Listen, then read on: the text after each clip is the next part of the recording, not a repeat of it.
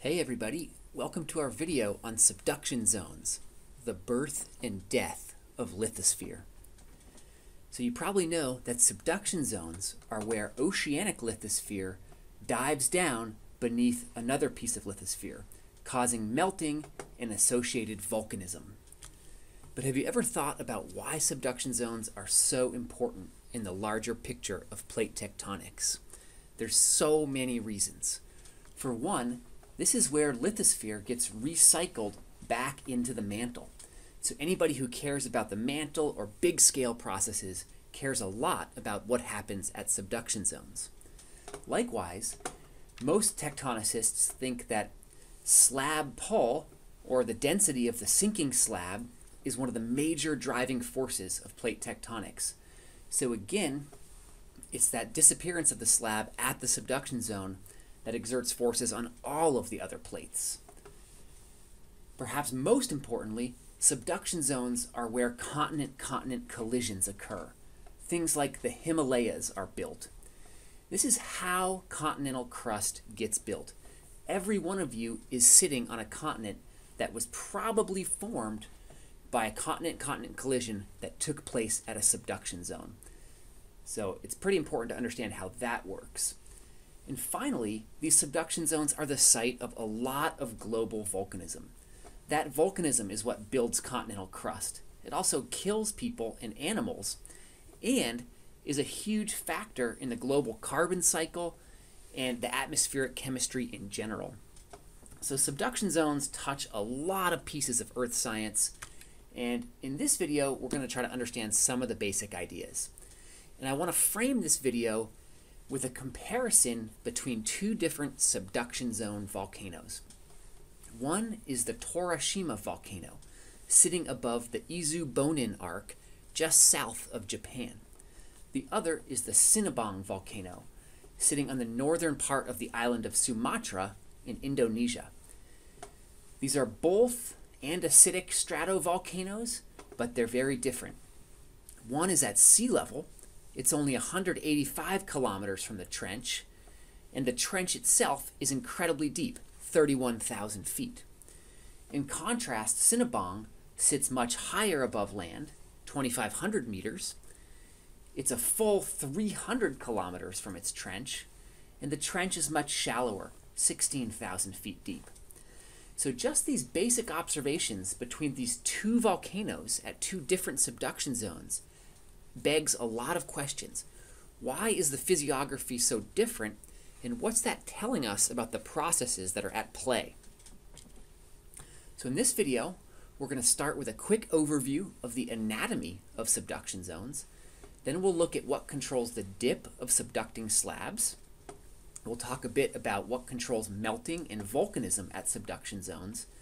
And then we'll close with a summary where we'll try to categorize subduction zones in terms of two end members, either a steeply dipping Mariana end member or a shallow dipping Andean end member.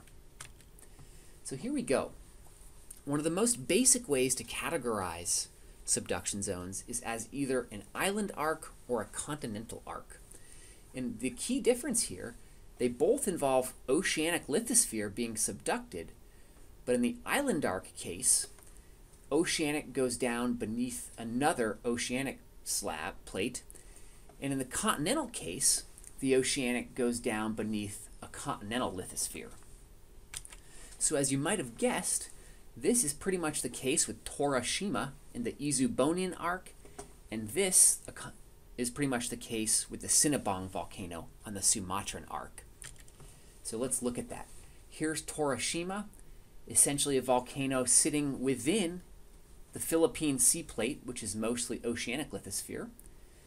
And here is Sinabang, sitting on the Sunda Plate, which is mostly continental lithosphere. So, so Sinabang is a continental arc.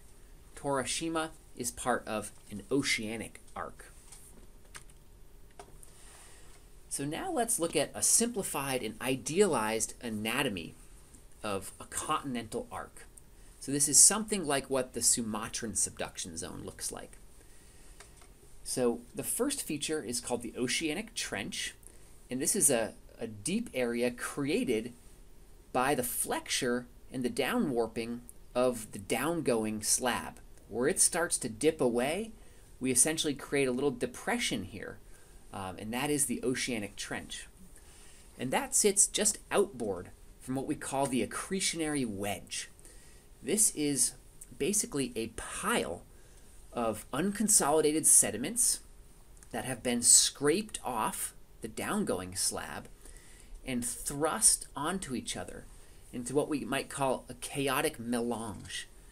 And although this is mostly loose sediment, we can occasionally get blocks of solidified limestone or even of oceanic basalt within this accretionary wedge. Moving a bit further inland, we've got the Forearc Basin, which sits between the accretionary wedge and the volcanic arc. And of course, this volcanic arc is where magmatism is coming up from melting above the slab and making its way up to erupt at the surface above the slab. And we'll talk more about that later. Finally, some subduction zones have what's called a back arc basin. This is essentially an area of extension behind the arc in which this regime is actually under extension and the lithosphere is actually being thinned and we can even actually start to establish a mid-ocean spreading ridge in some of these cases. And we're going to see at the end that this is often due to what we call trench rollback, as this slab may actually be pulling away and putting the whole regime under extension. So moving from cartoon into real world, here's a map view of the Sumatra subduction zone. And we can see a lot of those features in the physiography. So here's the trench. These islands actually are places where the accretionary wedge has popped up above the surface of the ocean. Here's the Forearc Basin. Here's a chain of volcanoes which make up the volcanic arc. And in places behind Sumatra, we actually have an extinct back arc basin, which is no longer actively extending. And here's the Sinabang volcano, sitting up here on the northern end of the island. Okay, so now you know some basics about the anatomy of subduction. Let's start to look at what controls variations in that anatomy. And we'll start with looking at the dip of the subducting slab. So first of all, how do we know what the dip of the slab is? We know it by locating earthquakes that are occurring within the downgoing slab and immediately adjacent to it. And in most cases, we would never get earthquakes below about, you know, 15 kilometers depth in the crust. It's simply too hot and too ductile. But because the downgoing slab is so cold and rigid, we can actually get brittle earthquakes within it to very, very deep depths. And some of those are shown here in transects across the Izu Bonin arc. So Japan is up here. Here's the Izu Bonin subduction zone coming down here. And we've got four transects A, B, C, and D. And along those transects, you can see uh, the depth of the earthquakes, which are essentially delineating the slab. And have a look at this, B to B prime. Subduction here at this part of the Izu Bonin is essentially vertical, as that old cold slab drops straight down into the mantle. Pretty amazing. And of course, the Torishima earthquake uh, volcano is sitting right up here above that slab. So that was an example of a very steep slab, and that was here along the Izu Bonin arc. But it turns out that slabs can also be very, very shallow. So this figure shows essentially a compilation of Wadati-Benioff zones globally. And we see that many are very steeply dipping, but then others are very shallowly dipping. And the Sumatran slab is one of those fairly shallow dipping slabs as it dives under the Sunda plate and creates the Sinabang volcano. So this is just to show you that we have huge variation, everywhere from about 5 degrees to a full vertical 90 degrees of subduction angle. And so what controls that angle or that dip? The biggest thing is the density of the subducting lithosphere, okay? If the lithosphere is denser, it's going to be able to sink more vertically and more directly down into the Earth's mantle. And that density depends on the age of the oceanic lithosphere, its temperature, and importantly, the thickness of the lithospheric mantle root. Remember that all this oceanic plates have this underplated oceanic lithosphere that is essentially cooled mafic mantle material and it's very very dense. As that root gets thicker that acts as an anchor to pull these older tectonic plates down into the mantle. Okay? Whereas younger lithosphere tends to still be quite warm and quite buoyant.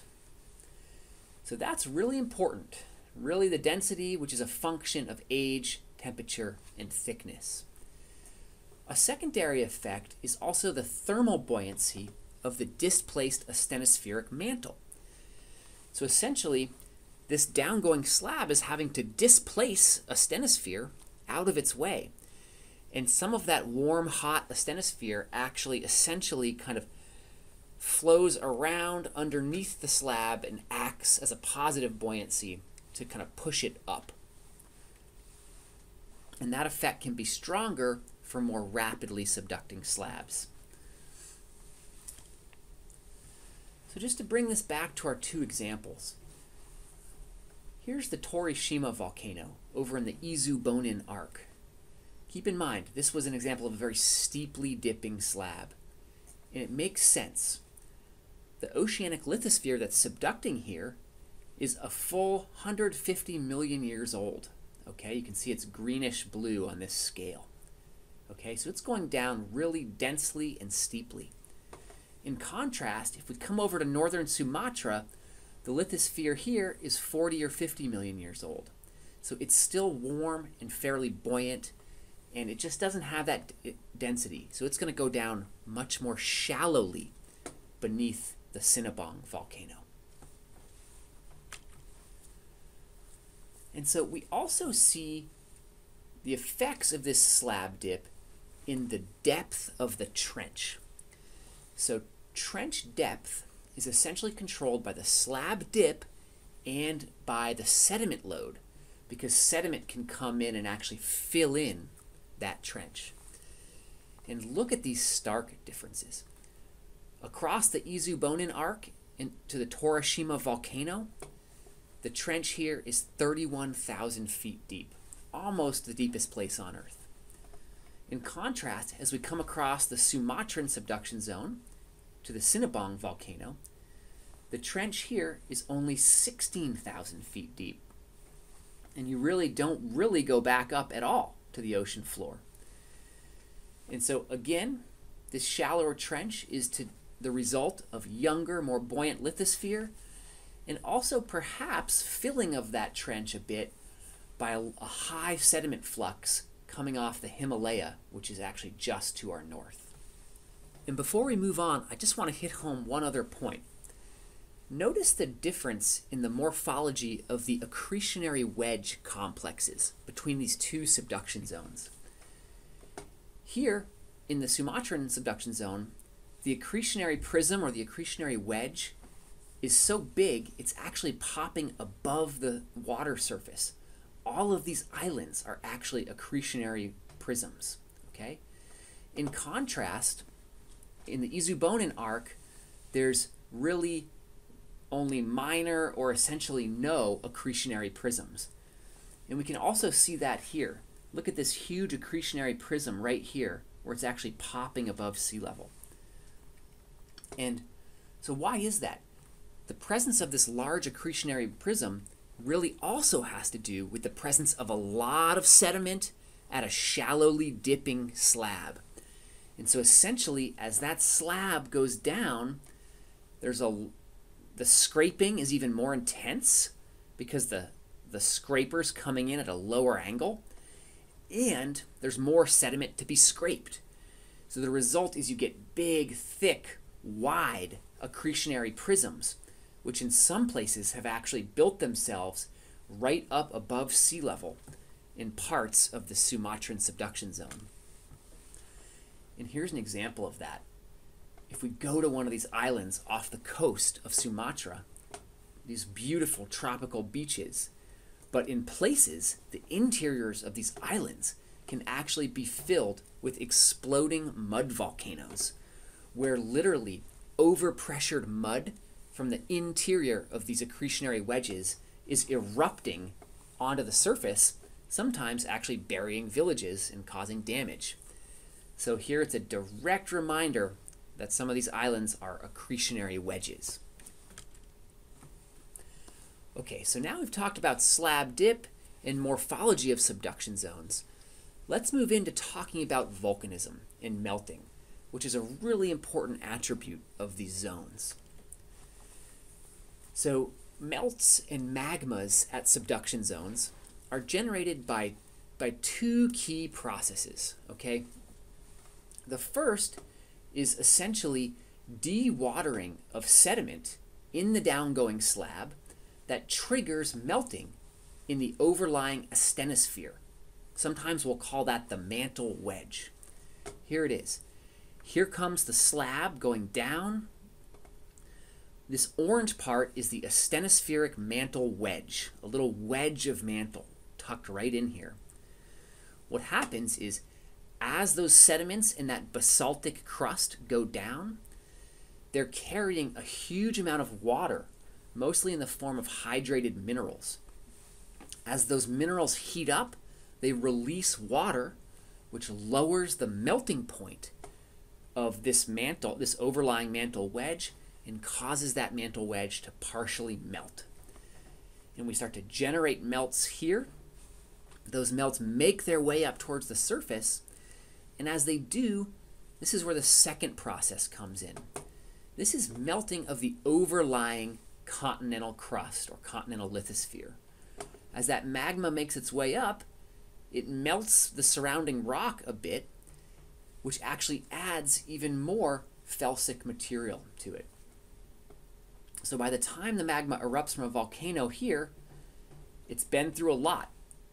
It's been it was born by partial melting in the mantle wedge, but then it was altered by as it melted its way up through the continental lithosphere. So the result of these processes is what we would call an intermediate composition. The magmas and the melts and the rocks have what we call an intermediate composition. For example, many subduction zone volcanoes erupt what we call andesite. This is a rock that is generally more felsic than basalt, but it's less felsic than rhyolite. In other words, it has higher silica, potassium, sodium content than basalt does, but it has a lower silica, potassium, sodium content than a rhyolite might. And here's a beautiful example of an andesite flow coming off one of the Three Sisters volcanoes above the Cascade subduction zone in Oregon. And it's worth noting that these andesite lava flows, they're very viscous and they don't flow very far. They pretty much erupt and cool. And because of that, they tend to pile up on top of each other. And that piling of andesite lava on andesite lava eventually builds what we would call a stratovolcano. Okay? These beautiful, typical volcanoes that you're used to seeing. They're cone shaped, they have steep sides. You can even see, perhaps, well, maybe see some lava flows along their flanks. These stratovolcanoes are the signature of subduction magmatism. And in fact, we see these all around the world wherever there's a subduction zone. Most famously in what we would call the Ring of Fire. Most of the Pacific margin is essentially being subducted, kind of on all sides. And everywhere that Pacific plate is being subducted, it's generating these stratovolcanoes, the Cascades, the Aleutians, uh, Japan, right? South America, all these places have these stratovolcanoes.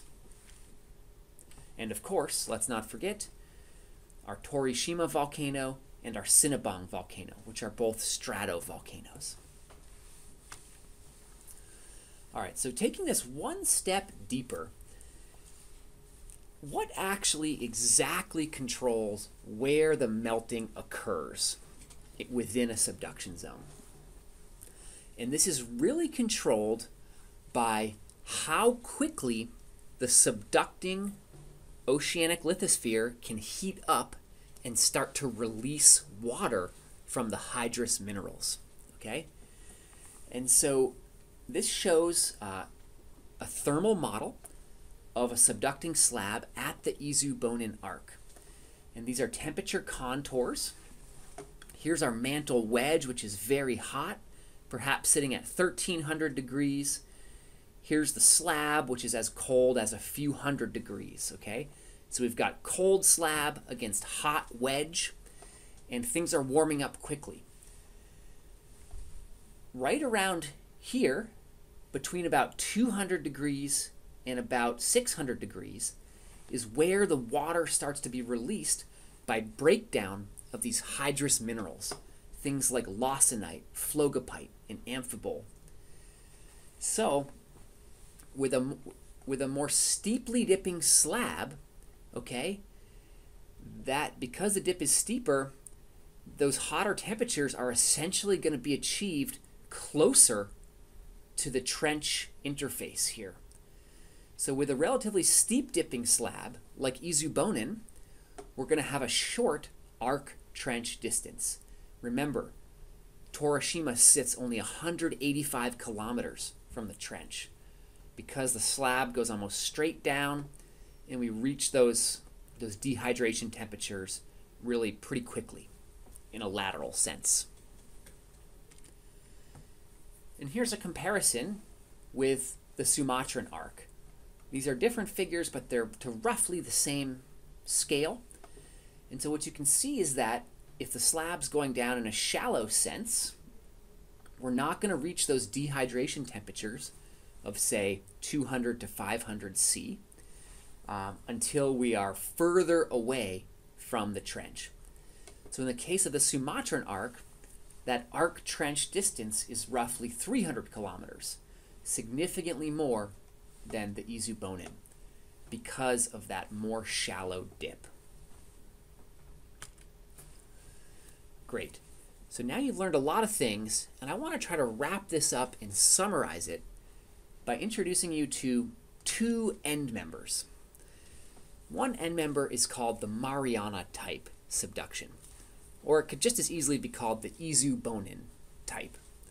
And this is essentially a steeply dipping subduction zone that has many of the properties we've been talking about with relation to the Izu Bonin in the Torishima. So we have very old, dense lithosphere, which gives us very steep subduction and a relatively deep trench. One other important feature here is it's at these steeply dipping subduction zones where we tend to get the back arc extension that I talked about early in the video. And this is due to a process called trench rollback. I won't go into detail, but essentially what happens is this slab is actually sinking so fast and so steeply that its point of curvature here, the interface, actually starts to migrate backwards. This, this, this point actually migrates to the right as it's kind of being pulled down. And so, to the extent that the downgoing slab is coupled to the overriding lithosphere, that actually throws the overriding lithosphere into extension and can actually open up the back arc here.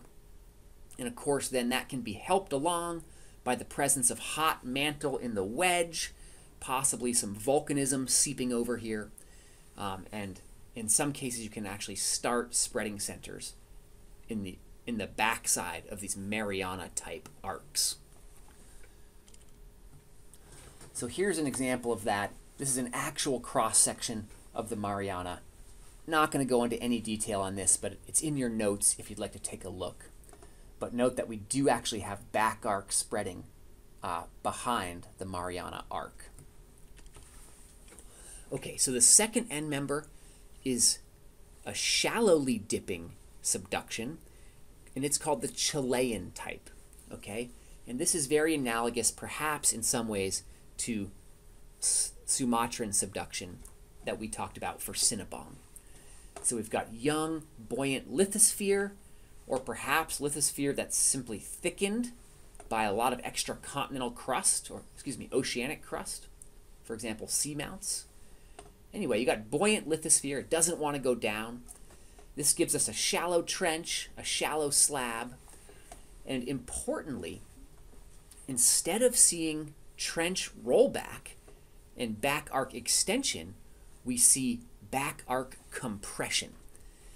In this case, like in the Andes, because the slab is going down so shallowly, it actually pushes against the overriding plate and can actually throw the whole region into compression. This is not really happening in Sumatra, but it is certainly happening in Chile, in the Andes, where the name comes from. So here we've got the shallowly subducting Nazca slab here, and essentially there is a lot of compression across the Andes, which has actually helped to thicken the continental lithosphere over time instead of thin it. And right now, the, the active compression is taking place actually on the eastern side of the Andes, or the backside, um, in what we call the sub-Andean belt. Uh, in this particular example, this is a fold and thrust belt where we've got a bunch of upthrust blocks that are being piled on top of each other, some of them riding along weak detachments. And we'll talk more about that later in the course. But basically, you've got a lot of shortening and thickening on the east side of the Andes, really as a result of low angle subduction, putting the whole thing under a compressive stress. So in summary, we've learned a lot in this video. We've learned that all subduction zones have similar morphologies. They all have a trench, an accretionary wedge, a forearc, and a volcanic arc we learned that the dip of the subducting slab is delineated by earthquakes, and it's determined really mostly by the density of the subducting lithosphere. In general, older lithosphere is colder with a thicker root of dense lithospheric mantle, so generally older lithosphere goes down more steeply. We then showed that trench depth and the size of the accretionary prism are really also determined by the slab dip and the sediment load. We then looked at melting and volcanism. We showed that melting above a subduction zone is triggered by release of water into the overlying mantle wedge. And that occurs at temperatures of about 200 to 600 degrees as hydrous minerals are dewatered. Due to a number of processes, Subduction zone magmas tend to be intermediate in composition, something like andesite, which ends up producing distinctive stratovolcanoes. We showed that the arc trench distance is really determined by how quickly laterally melting can occur, which is really determined by the slab dip and the thermal properties of the slab. So for steeply dipping subduction zones, we get a short arc trench distance. And then we summarized a lot of these ideas with the Mariana and Chilean type end members. Thanks so much for listening, and I'll leave you with these concept questions. See you in class.